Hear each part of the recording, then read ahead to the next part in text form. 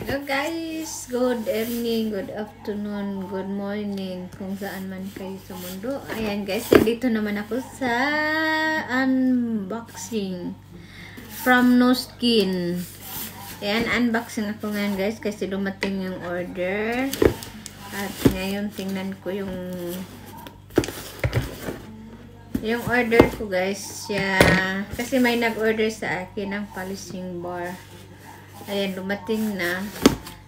Ngayon, ang buksan ko kasi kunin ito bukas. Ayan guys, uh, itong polishing bar, sabon to siya guys na pang ano sa mukha. Pwede yan sa katawan, yung mga mga may mga itim-itim, yung mga dark spot makatanggal ko guys ng ano dalawang akong na dalawang beses na naubos yung ano ko nakadalawa na akong sabon. Ayan. Ayan. Malaki siya malaki yung box niya pero ano siya.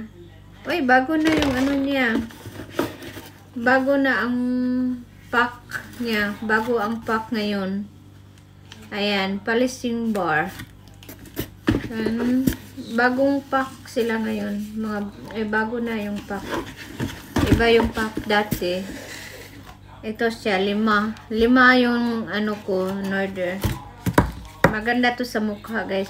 Pwede rin sa katawan pag may mga dark spot kayo. May mga, yung mga blackheads, mga dark, makatanggal din siya dito. Ayan, guys limang ano may nag-order na sa akin pero may may ano pa may dinagdagan ko na lang para may stock ako. Lima siya lima. Lima. Yan guys. Ganda. Wala siyang masyadong um, wala siyang masyadong amoy ito yung gamit ko. Pag hindi ako naglagay ng naggamit ng machine itong sabon ang gamit ko lalo na sa umaga may mga bago na rin silang mga ano, mga cream. Meron ding ano, ipats sa pang ipa ipats um, ano ba 'yan?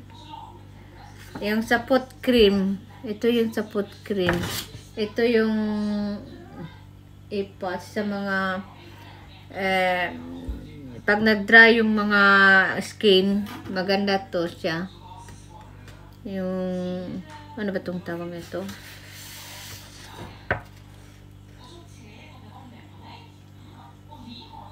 Baobab. Baobab sa ano, yung baobab cream, maganda siya sa mga may mga yung,